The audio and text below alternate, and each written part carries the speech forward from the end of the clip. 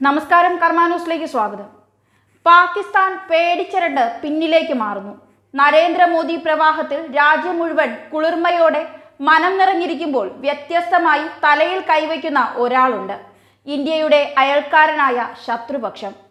ബലാക്കോട് വ്യോമാക്രമണം മറക്കാൻ ഇന്നും പാകിസ്ഥാന് കഴിഞ്ഞിട്ടില്ല.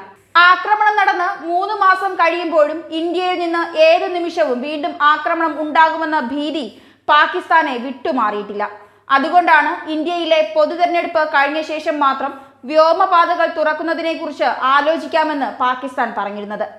എന്നാൽ ഇന്ത്യയിൽ നരേന്ദ്രമോദി സർക്കാർ രണ്ടാമതും അധികാരത്തിലേറിയതോടെ പാകിസ്ഥാൻ ജൂൺ പതിനാല് വരെ വീണ്ടും വ്യോമപാതകൾ അടച്ചിട്ട് കഴിഞ്ഞു. മാത്രമല്ല കഴിഞ്ഞ തവണ സത്യപ്രതിജ്ഞാ ചടങ്ങിലേക്ക് പാക് പ്രധാനമന്ത്രിയെ വിളിച്ചിരുന്ന മോദി ഇത്തവണ ബോധപൂർവം പാകിസ്ഥാനെ ഒഴിവാക്കി മറ്റ് അയൽ രാജ്യ തലവന്മാരെയാണ് ചടങ്ങിലേക്ക് ക്ഷണിച്ചത്. ടെലിഫോണിലും ട്വിറ്ററിലും മോദിയെ ഇമ്രാൻഖാൻ അഭിനന്ദനം അറിയിച്ചതും തന്നെ സത്യപ്രതിജ്ഞാ ചടങ്ങിലേക്ക് ക്ഷണിക്കുമെന്ന ചിന്തയിലായിരുന്നു. അതുവഴി ഇന്ത്യയുമായി ചർച്ച നടത്താമെന്ന കണക്കുകൂട്ടലുകളും ഇമ്രാൻഖാൻ ഉണ്ടായിരുന്നു. ഇക്കഴിഞ്ഞ സെപ്റ്റംബറിൽ പാക് പ്രധാനമന്ത്രി നരേന്ദ്രമോദിക്ക് എഴുതിയ കത്തിൽ കാശ്മീർ അടക്കമുള്ള പ്രശ്നങ്ങൾ ചർച്ച ചെയ്ത് അവസാനിപ്പിക്കണമെന്ന് ആവശ്യപ്പെട്ടിരുന്നു. എന്നാൽ ഭീകര സംഘടനകളെ വളർത്തുന്ന നടപടികൾ അവസാനിപ്പിക്കാതെ പാകിസ്ഥാനുമായി ഒരു ചർച്ചയ്ക്കും ഇല്ലെന്നായിരുന്നു ഇതിന് ഇന്ത്യ നൽകിയ മറുപടി. ഇനി ഇന്ത്യയുമായി ഒരു ചർച്ച ലോക്സഭാ തെരഞ്ഞെടുപ്പിന് ശേഷമായിരിക്കുമെന്ന് പാക് അധികൃതർ പിന്നീട് വ്യക്തമാക്കിയിരുന്നു. ലോക്സഭാ തെരഞ്ഞെടുപ്പിൽ എൻ ഡി എ പരാജയപ്പെടുമെന്നുള്ള ധാരണയിലാണ് പാക് അധികൃതർ ഇത്തരത്തിലൊരു പ്രസ്താവന നടത്തിയത്.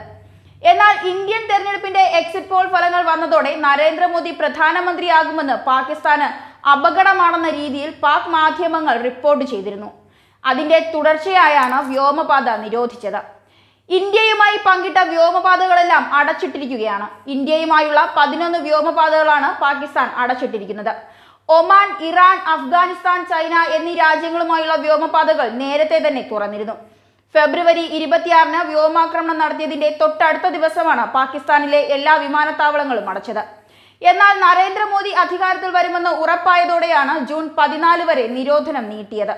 അപകടകരമായ പ്രതിരോധമാണ് ഇന്ത്യ തുടരുകയെന്നും ബി ജെ പിയുടെ മുൻ പ്രധാനമന്ത്രി വാജ്പേയെ പോലെയല്ല നരേന്ദ്രമോദിയെന്നുമാണ് പാക് മാധ്യമങ്ങളുടെ റിപ്പോർട്ടുകൾ. മൃദുഭാഷയിലായിരുന്നു വാജ്പേയി എങ്കിൽ ഏത് നിമിഷവും പ്രതിരോധിക്കാൻ കരുത്തുള്ള പ്രധാനമന്ത്രിയാണ് മോദിയെന്നും പറയുന്ന മാധ്യമങ്ങൾ സർജിക്കൽ സ്ട്രൈക്കുകൾ ഇനിയും ആവർത്തിക്കപ്പെടുമെന്നുള്ള ആശങ്കയും പങ്കുവയ്ക്കുന്നുണ്ട്.